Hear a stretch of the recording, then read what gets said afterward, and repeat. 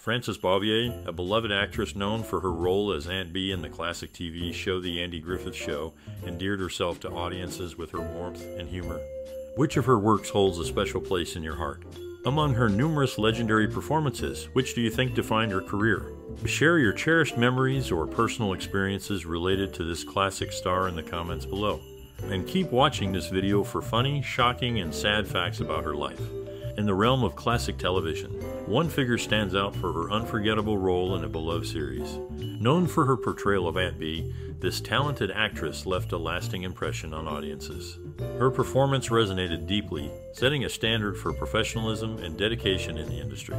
She didn't just act, she became a symbol of authenticity and relatability, inspiring many to pursue their own dreams in Hollywood.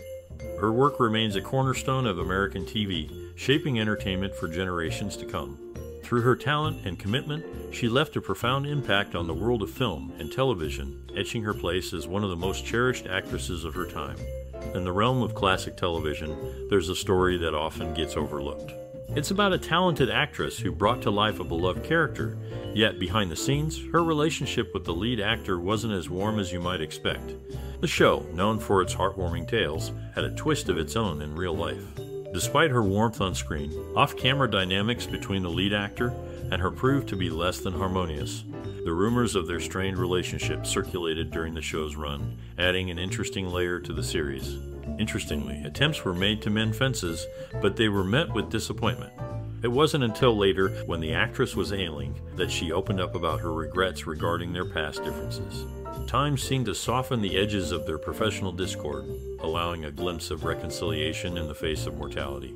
Post retirement, she immersed herself in charitable endeavors, displaying a side of her personality that was less known to the public. However, as the years progressed, she gradually withdrew from the spotlight, choosing a more private existence. The life of the actress, both on and off the screen, continues to captivate fans and historians alike. Her portrayal of the character endures as a reminder of her acting prowess, while the complexities of her relationships behind the scenes add an interesting layer to the narrative. This brief exploration into her life provides a glimpse into the person who breathed life into the beloved character. The dynamics between her and the lead actor remain a fascinating chapter in television history, offering a nuanced perspective on the challenges faced by those who bring our favorite characters to life. Frances Bavier, known for her role as Aunt Bee Taylor in The Andy Griffith Show and its sequel Mayberry RFD, was fiercely dedicated to her craft.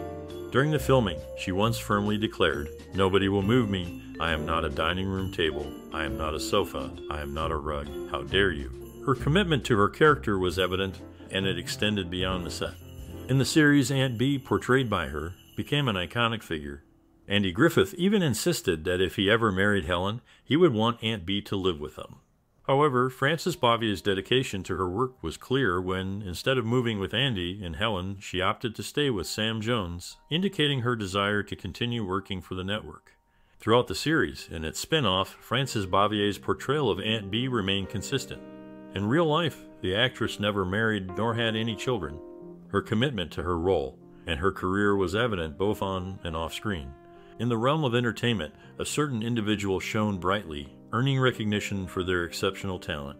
During the 1950s, this person received several awards for their outstanding performances, including a Primetime Emmy Award for Best Supporting Actress in a Comedy Series in 1957. As their career progressed, they continued to receive honors, marking significant moments in their journey. Notably, they were bestowed with the Theatre World Award in the same decade, acknowledging their contributions to the stage. Their impact on television history was further underscored when they received the TV Land Award for Favorite Granny in 23. Throughout their lifetime, this individual remained dedicated to their craft, earning accolades such as the 1967 Andy Griffith Show Reunion and the 1986 Mayberry Days Lifetime Achievement Award. These honors not only celebrated their past achievements, but also recognized their ongoing influence in the entertainment world.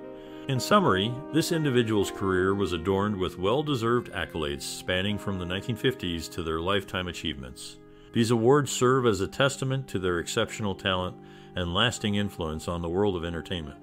She found her Siler City home without seeing it, drawn to North Carolina's beauty. I, like a child, came here looking for fairyland, she once said.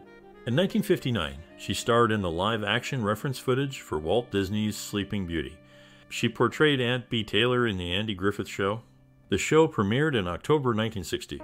Before that, the characters of Andy and Opie made their debut on the Danny Thomas show Danny Meets Andy Griffith in February 1960. The production company of Danny Thomas produced both shows.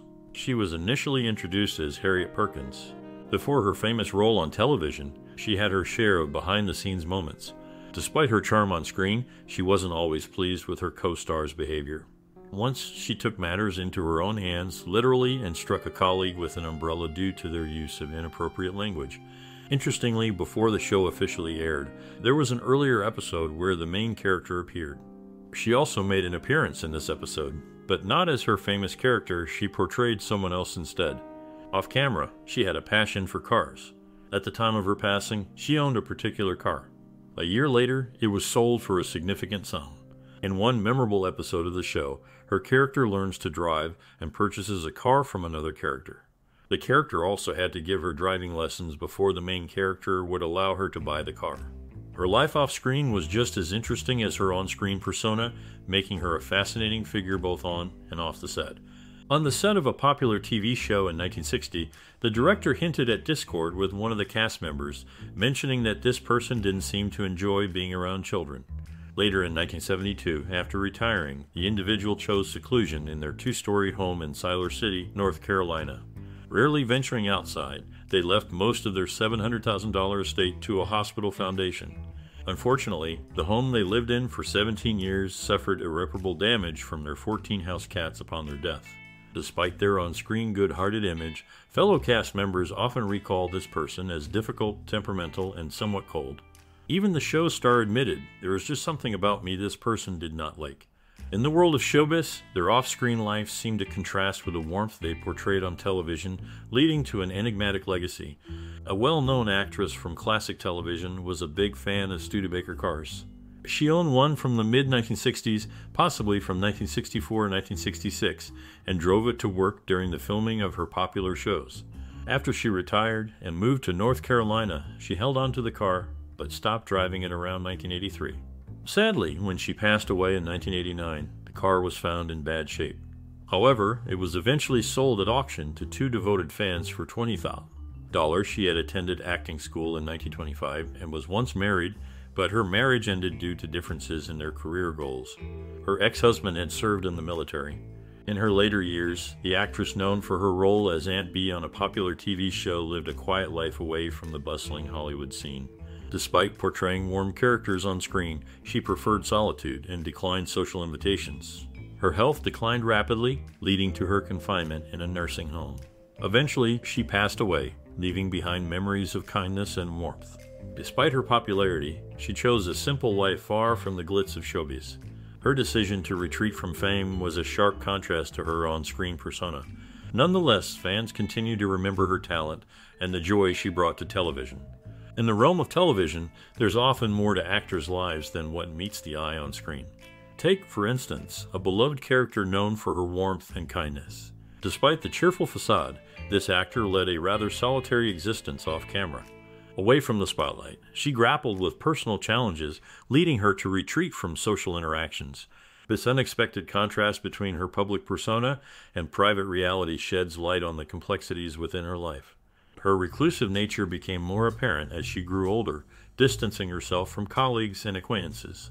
This withdrawal from the outside world paints a poignant picture, contrasting sharply with the character she portrayed on television.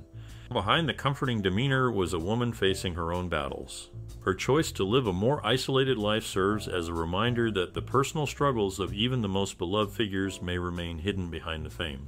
In the world of entertainment, her story serves as a reminder that appearances can be deceiving and the personal struggles of public figures may often remain unseen.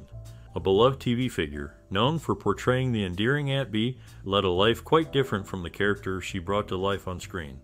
While Aunt Bee exuded warmth, the actress struggled with her own set of challenges behind the scenes, feeling isolated from her fellow cast members. Despite the camaraderie seen in the show, her personal journey was marked by shadows of depression and battles with alcoholism. These struggles cast a veil over her otherwise successful career in the entertainment industry.